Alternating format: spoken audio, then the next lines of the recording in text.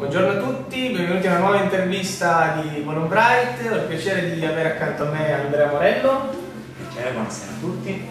Farmacista, dalle insomma, grandi esperienze professionali, sì, diverse, anche diverse sì. anche cuoco, operatore ayurvedico, e oggi sul palco. Eh, è una eh, prima volta emozionante, ma comunque divertente a nome delle farmacie comunali sì, a parlarci di salute e alimentazione. Sì. Chiedo subito Andrea, eh, insomma l'invecchiamento, eh, ci andiamo incontro tutti, c'è anche eh, insomma, eh, una vita più lunga, certo. maggior longevità, come si può far fronte all'invecchiamento e alle malattie croniche che subentrano inevitabilmente certo. magari allora, il meccanismo di base che sta, adesso non per semplificare, ma un po' all'invecchiamento e all'innesco di malattie è lo stress ossidativo, cioè quello che sta proprio alla base del consumo nell'organismo delle riserve di antiossidanti, cioè le difese che abbiamo contro delle molecole reattive che sono i radicali liberi. Eh, questi sono prodotti ogni giorno in seguito alle reazioni biochimiche, allo stress, a tutto quello che facciamo mh, vivendo ogni giorno e quindi l'organismo ha già delle riserve di antiossidanti che sono vitamina A, vitamina C, vitamina E, acido lipoico e così via che sono nell'organismo, nella pelle e negli occhi. Cosa succede? Che esponendoci all'inquinamento, al fumo, alle radiazioni del sole, questi vengono consumati e quindi se non li integriamo attraverso l'alimentazione eh, o gli integratori, eh, il corpo comincia pian piano a invecchiare e quindi per questo è importante badare molto bene a che cosa si mangia e a cibi che siano ricchi di questi elementi per eh, rallentare il fenomeno dell'invecchiamento. Ecco, io invece se ti parlo di glicemia e alimentazione, come prevenire anche magari forme di diabete? Ecco, il discorso del diabete e della glicemia è perché è legato al discorso appunto degli alimenti, perché ci sono alimenti che mm, eh, appena ingeriti innescano un picco di glucosio nel sangue e che quindi hanno un indice glicemico elevato. Altri alimenti come il pane integrale ricco di fibre, il pane nero eccetera ehm, sono a basso indice glicemico, ovvero una volta ingeriti nel tempo molto lentamente eh, grazie alla presenza di fibre cedono glucosio. Questo fa sì che lo, il pancreas non venga stressato nel secernere insulina e eh, si ha quindi nel sangue proprio un, un livello ottimale di, di glucosio. Eh, viceversa quando questo non succede, quindi si consumano molti zuccheri raffinati, molti dolci, pane bianco eccetera, eh, si ha un continuo immettere di glucosio nel sangue che causa l'accumulo di glicogeno sotto forma di grasso soprattutto nella zona addominale e anche in altre zone. E il grasso eh, di per sé non è poi un tessuto morto ma a sua volta eh, emette dei segnali infiammatori nell'organismo.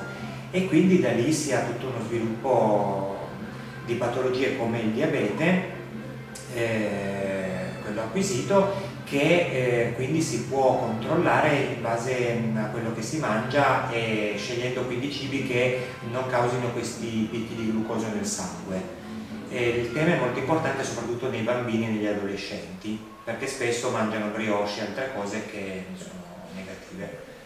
Ecco, una curiosità, eh, insomma uso il termine curiosità perché forse non si è abituati a parlarne molto, tra umore e alimentazione c'è un legame forte che si può forse considerare bidirezionale, considerando come l'umore alle volte si sa incide su come mangiamo, ma anche su come l'alimentazione può incidere sullo stress magari o su alcune sfumature del nostro umore. Certo, basti pensare alla fame nervosa quando ci si rimpinza di cose senza pensare a quello che si sta mangiando, quando si mangia guardando la televisione eccetera. Eh, l'umore può riguardare appunto sia il discorso magari della depressione e allora alcuni cibi che contengono per esempio aminoacido triptofano e il precursore della serotonina che è l'ormone del benessere. E, anche il cioccolato amaro per esempio eh, ha grandi benefici come polifenoli che sono antiossidanti e, e sostanze anti-invecchiamento, oltre appunto a dare proprio un effetto positivo sull'umore. Eh, ma sull'umore c'è anche il discorso dello stress, eh, lo stress legato alla vita quotidiana e al fatto che eh, sotto stress si produce cortisolo che è un ormone che deprime la, la risposta immunitaria questo fa sì che si sia più esposti a diverse patologie, da quelle infettive anche a quelle immunitarie. E e allora il consumo di sostanze come eh, piante per esempio adattogene come la rodiola, il ginseng, l'eleuterococco permettono all'organismo di rispondere meglio allo stress, permettono di dormire meglio e di conseguenza anche di svegliarsi più riposati.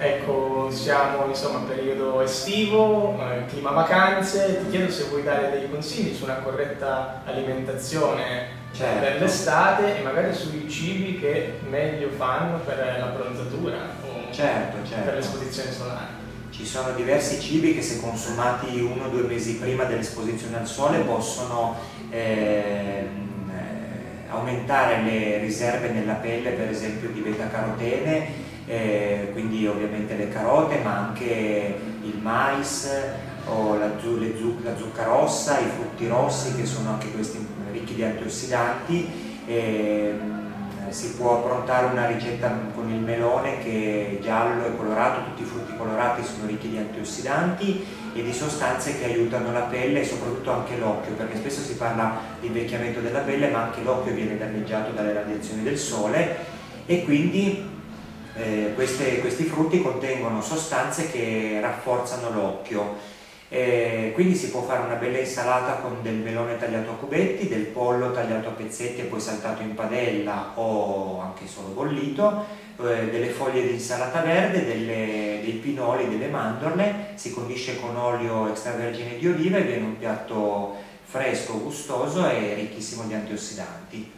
Ecco, io ti ringrazio, è stato un piacere averti con noi. Grazie a voi, è stato un piacere e buona estate a tutti. Ringrazio Andrea Morello e alla prossima.